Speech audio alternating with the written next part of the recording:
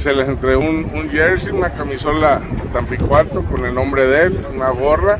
Este, se les pidió el apoyo también para a los niños y a los adolescentes que van a ir a representarnos, a van representando México a Orlando, Florida, en un mundial de, de béisbol.